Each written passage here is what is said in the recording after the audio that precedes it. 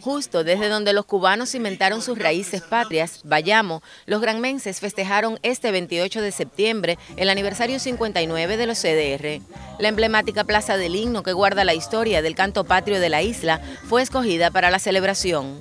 Valores, firmeza y unidad denotó el agasajo que se suma a los resultados del territorio en el último año de trabajo. Seis destacamentos juveniles 60 aniversario fueron abanderados procedentes de los consejos populares de la ciudad para encabezar las tareas que demanda el momento. No quedará barrio, solo poblado, que no se contagie de nuestra energía. Convocar y movilizar son nuestras palabras de orden. La medalla por la defensa de la patria y la unidad del barrio y la distinción 28 de septiembre fue otorgada a los más destacados.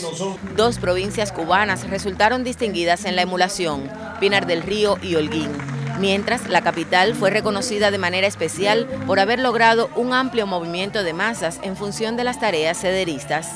Granma, la provincia vanguardia nacional, merecedora de la sede por el 28 de septiembre, recibió el diploma acreditativo. Hoy, cuando los cubanos nos entregamos en cuerpo y alma a pensar cómo hacer del nuestro un mejor país, nos encontramos una vez más ante el recrudecimiento del bloqueo y el lenguaje amenazante del imperio.